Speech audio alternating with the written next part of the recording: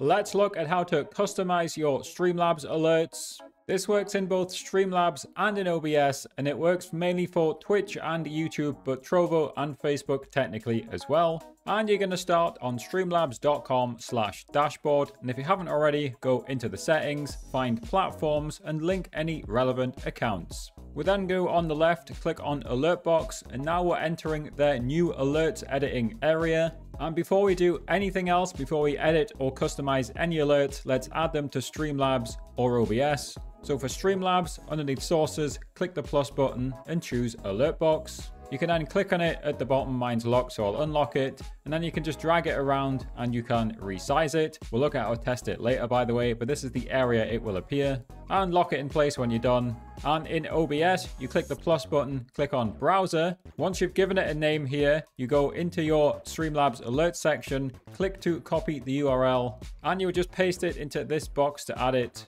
And I recommend shutdown source when not visible. I'll just delete this one because as you can see, I have already done it with this one. So now the alerts are added to OBS or Streamlabs, let's look at how to edit these alerts and make them look good. And there's two ways to do this really. So very quickly, the paid way is with the Streamlabs Ultra themes. You can use my affiliate link and try it for $9 off the first month. You would just click browse themes in the top right and choose the theme that you want and then you're basically done. Of course, I know most people don't want to pay, so what we'll do is we'll create some alerts from scratch. So in the top right corner, I'm going to click the drop down list and I'm going to add a theme. For me, I'm just going to call mine multi-stream test. I am going to check the box to create it with the Streamlabs default settings, and then I'll just click on start from scratch.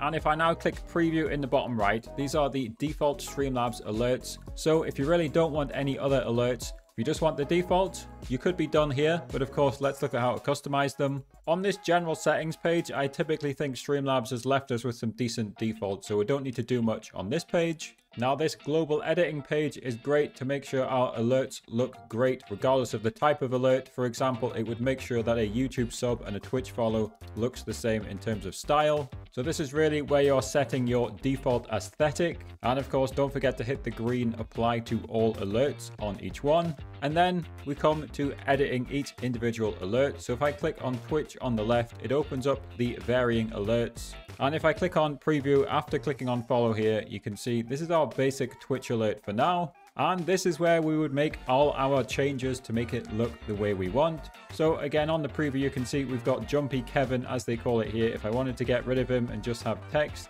I could just delete him. And if we preview it again, it's just text. And of course, I could change the duration. For example, I could lower it to five seconds. Regardless of what you do and what you change on this page, don't forget once again to hit the green save button. Now, we can also add variations. So let's do that. And it looks like the variations were intended mainly for subscriptions because there doesn't seem to be much use for follows. You could add the variations just to get different text to show on the screen for followers. But I think the real intention here is, for example, to differentiate a one month sub from a one year sub. So if I click into subscriptions here, if I click on add variation here, let's do that. Let's do one year sub variation. And I'll use the default settings. You could use the current settings and I'll press add. And I think the key thing on this page is the condition. And for me, I'll do months subscribed is exactly, and I'll change it to 12 months. And in my example, what I've done is on the message template, I've just added a bit at the end which says thanks for your incredible one year of support. And of course, you can press the preview to see what it would look like.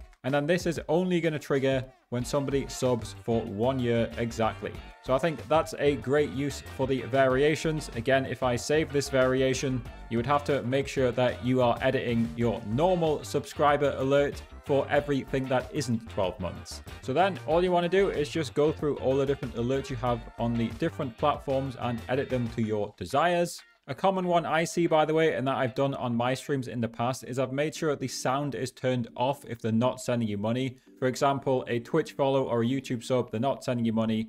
I want to differentiate it and only play sound when I receive money. So what I often do is on anything where I don't get money, I'll just turn the volume to 0% and save it so the sound doesn't play. Now we can also edit our tips alerts and you can see also Cloudbot Redemption and Merch, which are lesser used as well as Patreon. You edit those exactly the same way. You just go through the settings and press preview to see what it looks like. But how do we look at it inside both Streamlabs or OBS? Well, you can see towards the top here, we have this test button and we can just choose to test something. So let's go on YouTube and test a YouTube sub. And as you can see inside Streamlabs, Kevin's now bouncing up and down. And it's actually showing me here that in the vertical output, I probably want to shrink it a bit so it's actually on the screen. And let's confirm that that is working inside OBS as well. So as you can see, Kevin's jumping up and down inside OBS too. So again, if you want to skip all that and just do some one-click OBS themes, then you can use my Streamlabs Ultra affiliate link to get $9 off.